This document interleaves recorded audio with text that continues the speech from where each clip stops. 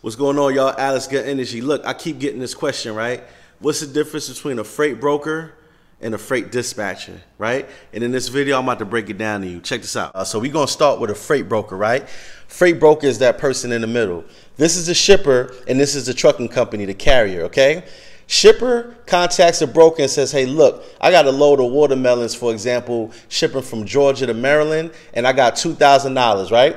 Broker then takes that same $2,000 and then subcontracts it out to the carrier for 1800 okay?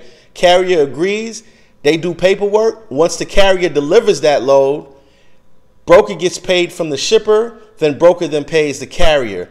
He walks away with a $200 profit, okay? That broker has an agreement with that shipper and he has to get that load moved for that shipper.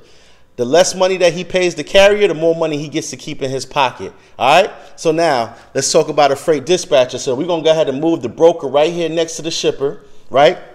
And we're going to bring in the dispatcher. Now the dispatcher, right? He works for the carrier though.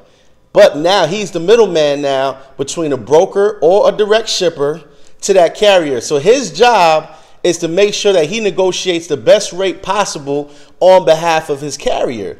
So what he does is he charges a percentage to this carrier, you guys, right?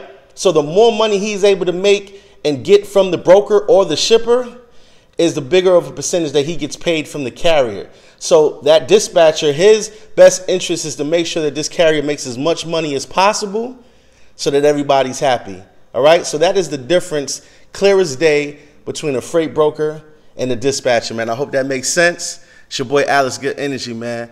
Let's go.